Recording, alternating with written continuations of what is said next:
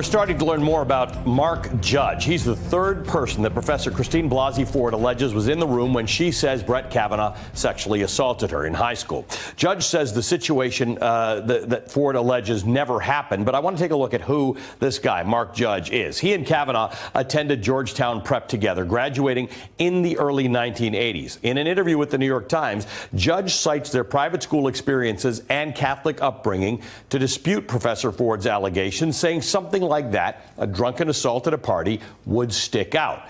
But Judge's own writings recount hazy, drunken partying, including a bachelor party featuring a music teacher, students chugging beer, and all of them being, quote, entertained by the stripper. His other book, entitled Wasted Tales of a Gen X Drunk, talk about a Bart, Cat Bart O'Kavanaugh getting drunk and vomiting in the backseat of a car, leading to speculation that the passage uses a pseudonym for Brett Kavanaugh. And Judge's high school yearbook quote appears to endorse violence against women, and at least one other caption in the yearbook seems to make light of the issue, all things Judge would have had control over as the yearbook's caption editor. Later in life, according to Judge, he found the error of his ways, getting sober, getting back into religion, and briefly teaching at Georgetown University. But he also advocated for a, quote, ambiguous middle ground when it comes to consent and what he called, quote, the wonderful beauty of uncontrollable male passion. It's the discrepancy in Judge uh, Judge's defense of Kavanaugh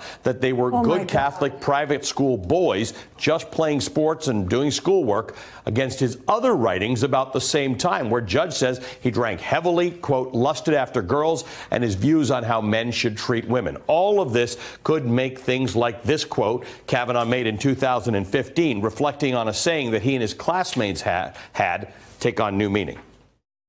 We had a good saying that we've, we've held firm to to, the, uh, to this day, as the dean uh, was reminding me before, uh, before the talk, which is what happens at Georgetown Prep stays at Georgetown Prep. That's been a good thing for all of us, I think. All right, that's what I, am just taken. One yeah. more time. The wonderful beauty the wonderful of uncontrollable beauty male passion. Of uncontrollable male passion. Yeah. He wrote that. Hey, MSNBC fans, thanks for checking out our YouTube channel. Subscribe by clicking on that button down there and click on any of the videos here to watch the latest interviews and highlights. You can get more MSNBC for free every day with our newsletters. Just visit msnbc.com slash newsletters to sign up now.